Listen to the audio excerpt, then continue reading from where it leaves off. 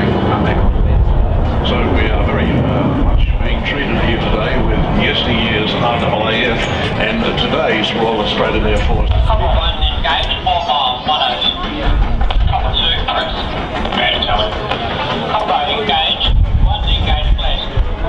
One of the first and most significant changes to the 21st century F-18 Super Hornet, the Rhinos.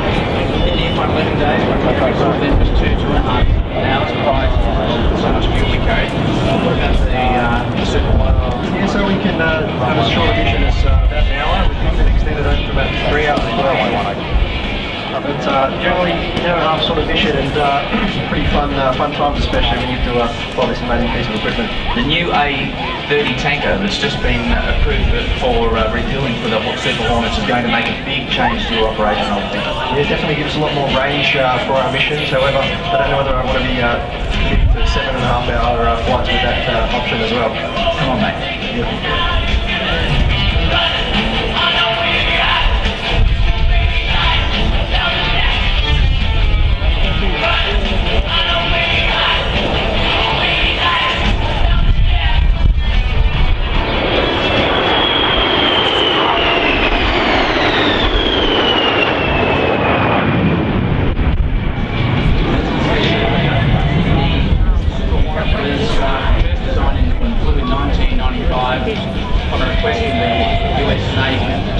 have a replacement for the F-14 What you see was the result of, uh, the contest, and you ended up with an F-18 on steroids, 30% bigger than the uh, classic one.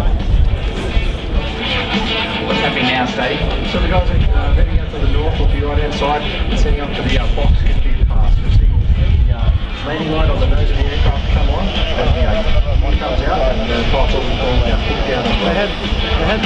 Orion make a knockout to uh?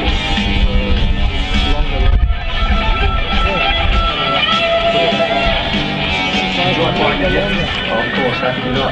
It's uh, a good uh, working over in the desk all day. You get to uh, get up above the cloud on a bad weather day and see the sun. And uh, obviously a lot of uh, duration in Berlin to uh, doing uh, all sorts of missions at. So,